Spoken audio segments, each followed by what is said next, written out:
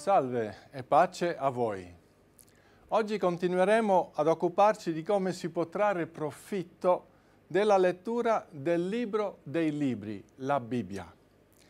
Il libro più letto di tutti i tempi. Magari sarebbe opportuno che vi muniate con qualcosa per scrivere e fare appunti di questa presentazione. La storia dell'universo, la storia del Dio dell'universo, con il genere umano è conservato e disponibile nella Bibbia.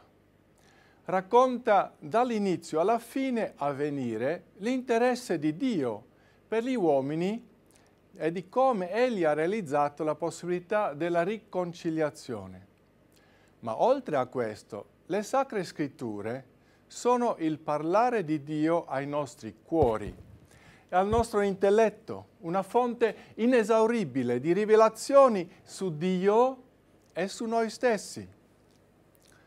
Perché facciamo bene leggere e seguire quanto dice questo libro, la Bibbia?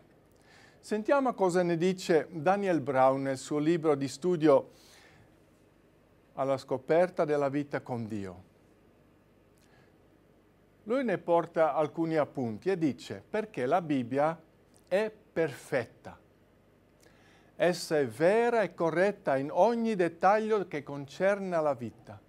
È completa, non vi manca niente di ciò che abbiamo bisogno per vivere. Ristorerà la tua mente, il tuo cuore e la tua coscienza per renderli come Dio li aveva intesi. La sua parola porta i tuoi pensieri e le tue emozioni su altre vie. Essa guarisce delle aree della tua vita interiore che sono state spezzate, legate o ferite da modi sbagliati di pensare o di percepire la vita. È veritiera e affidabile. È una base sicura per la vita e per tutte le decisioni da prendere. È un fondamento solido sul quale stare in qualsiasi circostanza. Ti rende incredibilmente saggio ti indica cosa fare, pensare o dire in ogni situazione. Non ti devi più basare sulla tua stessa esperienza limitata. Ti verranno in mente delle storie, dei versetti della Bibbia che ti offrono consiglio e ti indirizzano a prendere le decisioni giuste. Inoltre la Bibbia è giusta esattamente come dovrebbe essere, come una chiara e soleggiata mattina, come una tavola squisitamente apparecchiata. Non c'è niente di meglio. La parola di Dio è autentica, porta una profonda gioia nel tuo cuore, così come quando ammiri la bellezza di un tramonto. Un costante confronto con la Bibbia agirà contro le sostanze contaminate della vita, risvegliando un fondamentale sentimento di benessere e prosperità nella tua vita. Poi la Bibbia è limpida, totalmente libera da ogni contaminazione di persone false o da ogni altro elemento di distorsione. Non contiene doppi sensi né messaggi che hanno bisogno di essere filtrati, ti rivela ogni contraffazione, sotterfugio o falsità che altrimenti non sapresti discernere da solo. La Bibbia è come un potente raggio luminoso che illumina il sentiero davanti a te, ti mostra le buche nascoste e gli ostacoli, condu- conducendoti sul sentiero migliore. Poi la Bibbia è vera e giusta mostra a fondo come Dio aveva inteso la vita. Ci vengono rivelate la giustizia, la verità di Dio tramite la Bibbia, Dio si fa conoscere. Ti rende consapevole di ciò che dura sino all'eternità e di ciò che invece passa. La parola di Dio persiste per sempre e, quando questa vita sarà finita, rimarranno solamente le cose riguardanti l'eterna verità. E per ultimo la Bibbia è desiderabile, è dolce. Il tuo spirito la desidera, come se fosse il cibo più gustoso. Niente ha un sapore migliore per la nostra anima che la Bibbia, niente ci può offrire un nutrimento migliore per la nostra crescita e salute spirituale. Rafforza il tuo sistema immunitario spirituale, ti protegge da agenti virali esterni e ti guarisce dalle sofferenze interiori che potrebbero sfruttare la tua vulnerabilità. Le scritture ti procurano un gran numero di meccanismi difensivi per ogni tipo di infezione. Perciò, un consumo costante della Bibbia creerà un senso interiore di pace e di gioia. Come dice nel Salmo 119, il versetto 165, grande pace hanno quelli che amano la tua legge e non c'è nulla che li possa far cadere. Una sorta di ottimismo, ottimismo che ci rende capaci di credere che Dio ha tutto sotto controllo. La parola di Dio è adatta per ringiovenirci e sollevarci dal nostro passato per attrezzarci per il futuro.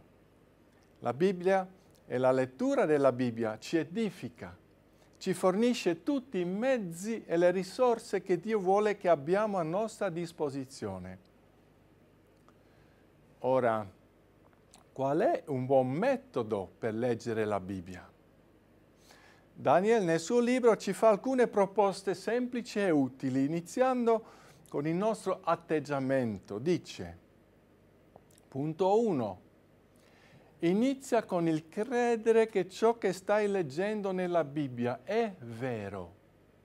Non cercare di leggerla per decidere se ciò che leggi è vero o meno. Ai, ai, questo è un punto importante per la partenza. Lo voglio ripetere per questo motivo. Leggendo la Bibbia, credi che ciò che stai leggendo è vero. Abbi fiducia non cercare di leggerla per decidere se ciò che leggi è vero o meno. Iniziando a leggere la Bibbia è opportuno anche esprimere una piccola preghiera. Voglio farvi un, un esempio, pregando così. Signore, insegnami tramite la tua parola, impianta questi versetti nel mio cuore in modo che possano portare frutto nella mia vita. Amen un'apertura di mente e di cuore verso questa parola preziosa. Un secondo punto, leggila più regolarmente possibile. Un po' ogni giorno è meglio che tanto in una sola volta. 3. Leggi la Bibbia come se stessi cercando un tesoro. Con questa, questo atteggiamento che cerca nella tua vita quanto riguarda ciò che leggi nei versetti. 4. Aspettati una rivelazione. La parola di Dio è viva, è attiva, ti parla direttamente. Ascolta il tuo cuore quando si tratta di questioni della tua vita o questioni che riguardano argomenti su quali hai dei dubbi. Punto 5. Segnati, sottolinea ogni versetto che ti colpisce particolarmente, soprattutto quei versetti che ti edificano, che ti confortano. Presta attenzione alle promesse e ai comandamenti che rivelano il cuore di Dio che Lui ha per te. Punto 6.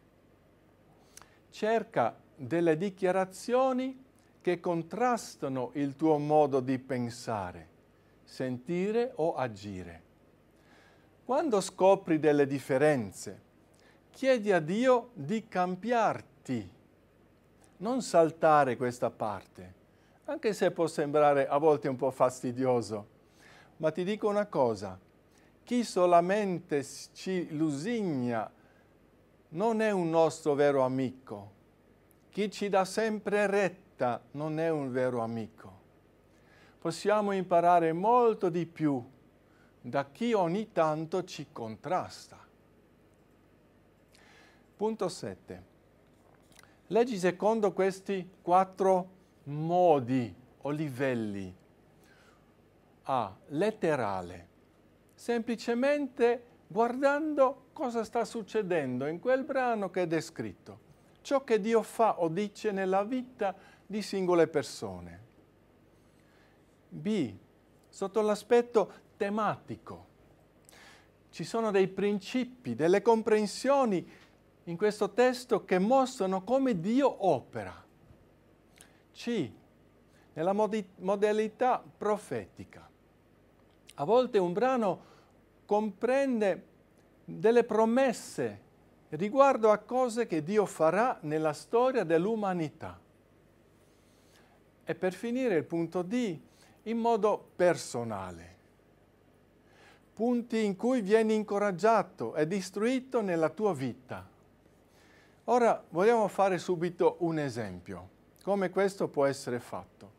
Io prendo in mano la Bibbia e la apro nel libro degli Atti, capitolo 8, dal versetto 26 al versetto 40. Qui è riportato una storia, un evento, qualcosa che era successo con l'evangelista Filippo e un eunuco che si chiamava, non si sa, non è scritto il nome, ma si sa che veniva dall'Etiopia. Io leggo il testo. Ora un angelo del Signore parlò a Filippo dicendo, Alzati e va verso il mezzogiorno, sulla strada che da Gerusalemme scende a Gaza. Essa è deserta.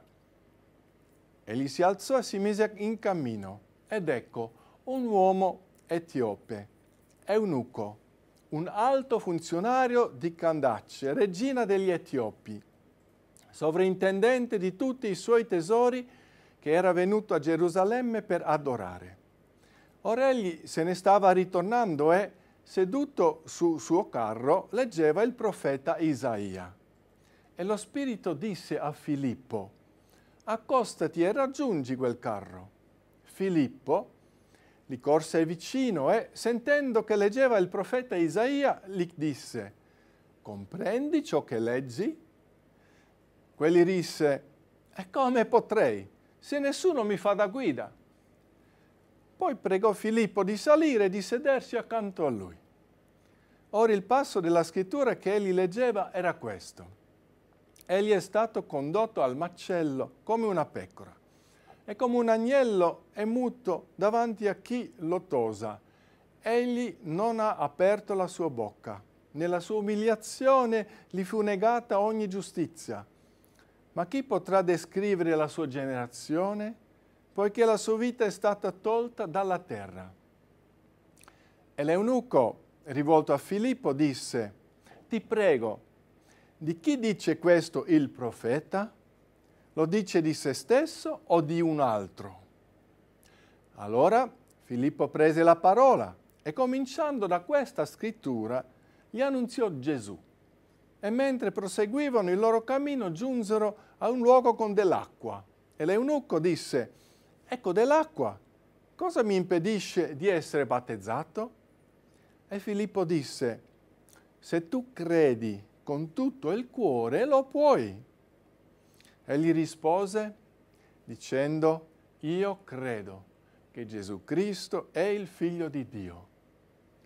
Allora comandò al carro di fermarsi e ambedue Filippo e l'eunuco discesero nell'acqua ed egli lo battezzò. Quando uscirono dall'acqua, lo Spirito del Signore rapì Filippo e l'eunuco non lo vide più, ma proseguì per il suo cammino pieno di gioia. Questo è il racconto della Bibbia. Ora vogliamo applicare nella lettura, nell'interpretazione, nello studio di questo piccolo brano questi quattro livelli. Prima quello letterale. Cosa qui era successo? Cosa dice la Bibbia in questo passo? Beh, a Filippo Dio dice di alzarsi, recarsi in un certo punto. Lì incontrava il funzionario e Dio dice ancora a Filippo di accostarsi a lui per raggiungerlo. Poi Filippo sentiva leggere l'eunuco in un libro della Bibbia e lo chiedeva se lo comprendesse. di seguito gli spiegava il brano e non c'ha la salvezza di Gesù.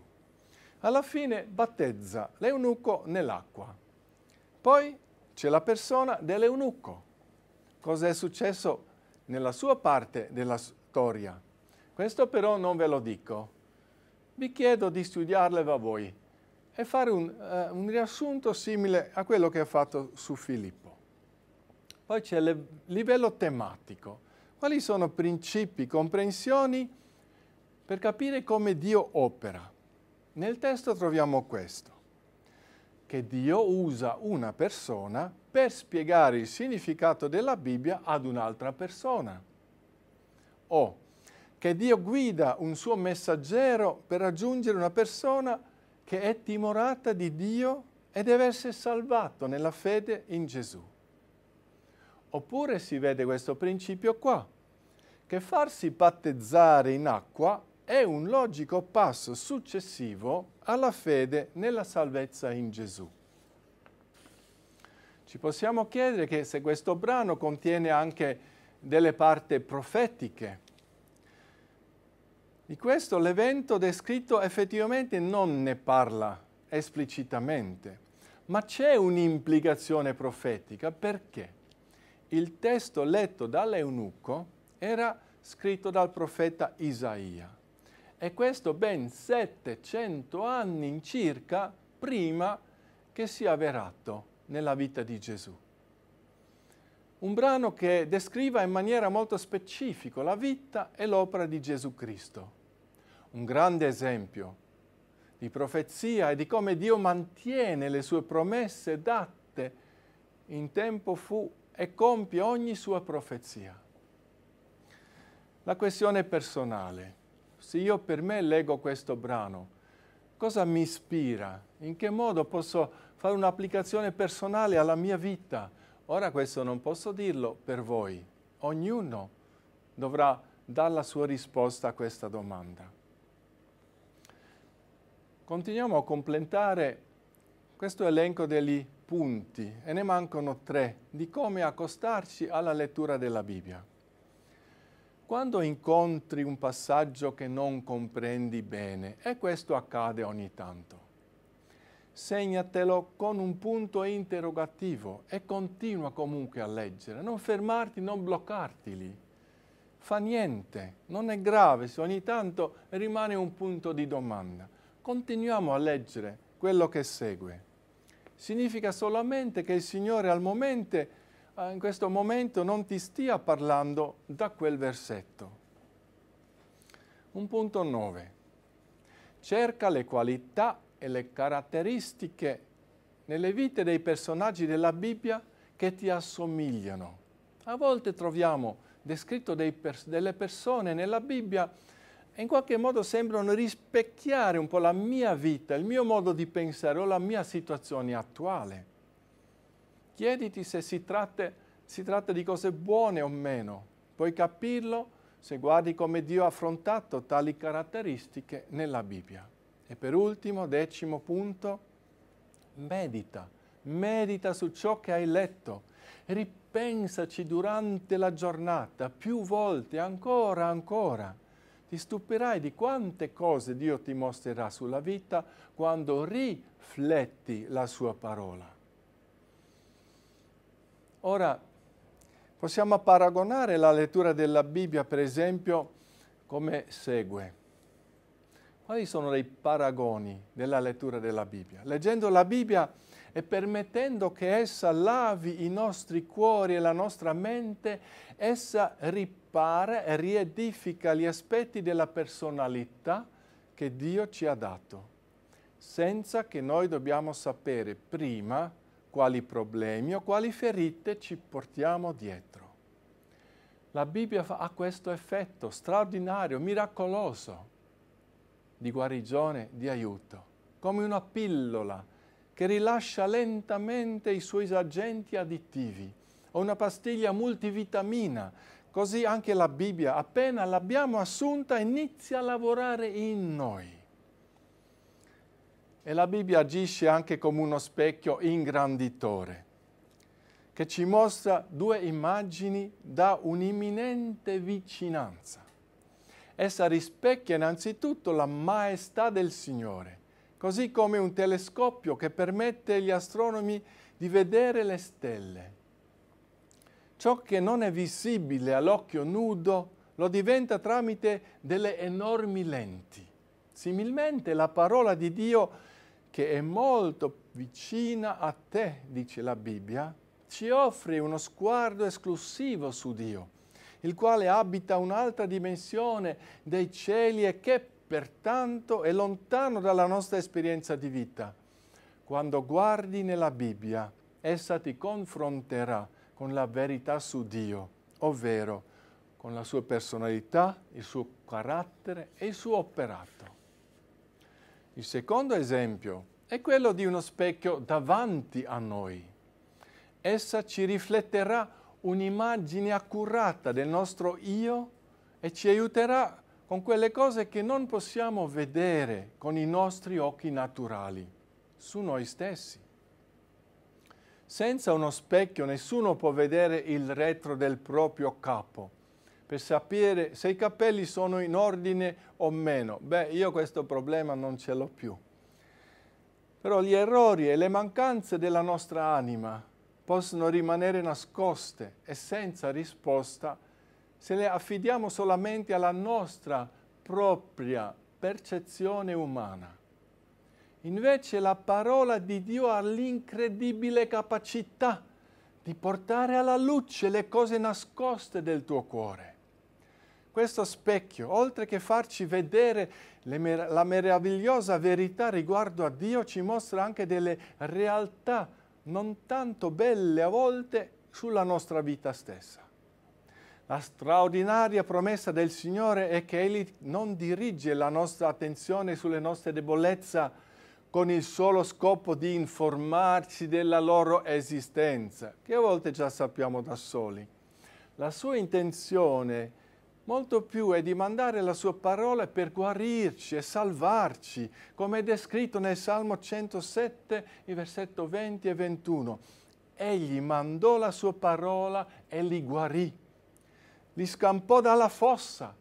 Celebrino l'Eterno per la sua benignità, per le sue meraviglie in favore degli uomini. Anche in Matteo 8, versetto 8 e 16, leggiamo come e quanto è potente la parola di Dio.